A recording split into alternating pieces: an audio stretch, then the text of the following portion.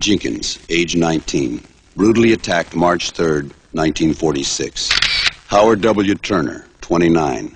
Emma Lou Cook, 17. Bodies discovered in a wooded area on March 24th. Roy Allen, 17. Peggy Loomis, 15. Both found dead April 14th in Spring Lake Park. Floyd Reed, age 34. Murdered in his home on May 3rd. Mrs. Reed shot twice, but survived. This man's identity is unknown. He was believed to be between 30 and 40 years old. He wore a white hood and was known only as the Phantom Killer.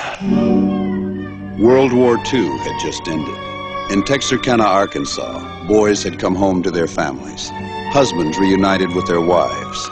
It was a happy, peaceful time. Until the Phantom Killer struck. For four months, he held an entire city in the icy grip of terror. Now, Charles B. Pierce brings this incredible, shocking, and true story to the screen in The Town That Dreaded Sundown, starring Academy Award winner Ben Johnson as Captain J.D. Morales of the Texas Rangers. We got a cold-blooded killer here. A man who nobody sees.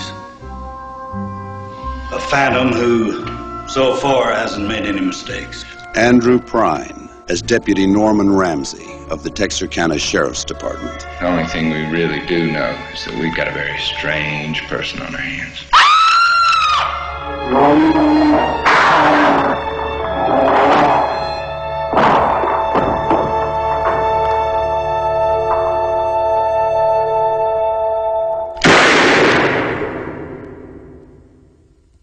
The Town That Dreaded Sundown, a true story.